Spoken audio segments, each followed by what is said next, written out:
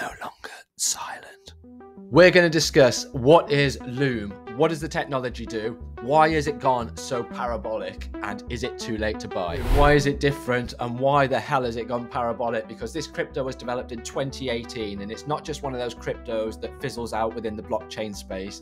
This creates use case. Now, we all know about dApps, decentralized applications, and we all know the implications of decentralized applications. You have to have an ERC20 smart contract developed with EVM compatible Ethereum coding before you can add something to Ethereum. So the developers have to use EVM and then they can add it to Ethereum. So that raises problems. And what does the problem of Loom solve? Because what it allows for is a developer to build a dApp and then that dApp can be used across the different chains, whether it's Bitcoin, whether it's Binance, whether it's on Ethereum or any of the other major chains. So this is something that solves an actual problem. This article sums it up. A few days ago, the network announced a partnership with Atlassian. They're a global leader in team collaborative software, and it sent ripples across the market.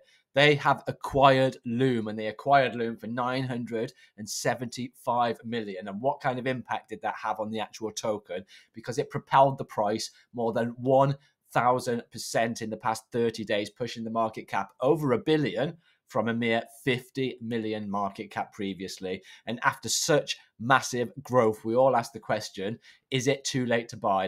Now, the question on everyone's mind is Has it run too much? If it hasn't run too much, where does it need to pull back? If it pulls back, where's a good entry price? What is fair value for Loom? And that's what we're going to look at on this chart. This is the daily chart of Loom. And there's three key areas that I want to show you guys. The first being between three and four cents. Remember on this channel, we talk about the bigger the base, the higher the space. This is the base. Base lasted four before it broke out. 181 days, 181 days in this range. And where is the space? This is the space. This is the parabolic move. This is on the back of the news. And this is on the back of some company buying this on the back of the use case behind it. They can see that there's good use case behind it. They can see something in this, and there must be something that they can see in it to be able to acquire it for 975 million. So that's the first price that I want you to think about is the three cents to four cents level. That's the base. It's not likely to come back down to test these levels, guys, unfortunately. But there is key areas that we can look at, and we can do that by sticking on our Fibonacci tool. So we've got our Fibonacci tool from bottom to top. And this is the next area, guys, that I want to show you is the 50 cent level. This is where it topped out. This is where we had a huge reaction. And this is where the bears started buying up and pulling price action back down. Now, the bears are pushing price action back down. Where are they pushing price action back down to? Because you can see that we're already hovering above the 50% retracement level. That's 50% of this whole move here. 50% of that whole move. We're getting a reaction from there. How will price react? And is this where I want to enter? Because what I want to see is more of a 618 pullback. So I'm not interested in this 50%. I want it to come back further. And the 618 is sitting at between 20 and 21 cents. For me, that's something that I'm going to dip my toe into the water and I'm going to be prepared for it to come back and test the 78.6% retracement. And if it does come back, rejects from the 618, comes back down to t- test the 786.